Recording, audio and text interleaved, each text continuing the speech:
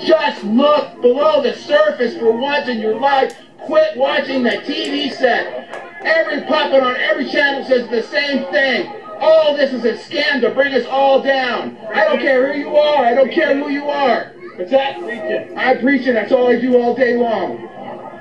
All right, so make sure also support Eric Deputy. I'm going to be doing a lot more podcasts with a lot of big players, getting people to see the truth out there. So God bless you all. I love you, and you know that. Make sure that you share this with as many people as possible. And other things you need to do is if you're not getting adjusted, you should be getting adjusted, especially in these times of stress. Make sure that you're eating super healthy, using mushrooms to upregulate your immunity. And then we can all get natural immunity. We don't need Bill Gates and his fucking shots.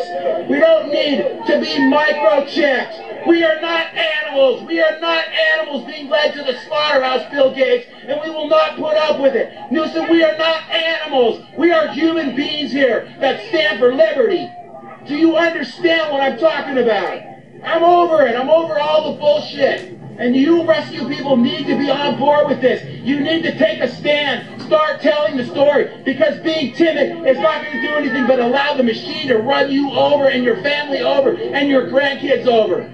Your complacency has got us where we are right now. I've been telling you this for 30 years, and we are at the end game right now. We are there. And if you can't see it, you are as blind as the bat that gave us all COVID. All right, you got it? So share. Share this. Share this everywhere you can. Yeah, I'm standing up. What are you doing? Are you just home sitting there watching TV, eating your... So eat healthy. Get some exercise. Get plenty of rest. Make sure you're grounded. Get some sunshine. Man, what are you doing sitting in the house? That's the worst thing. All right, I'm going to sign off before I get... There's a lot of cops here, too.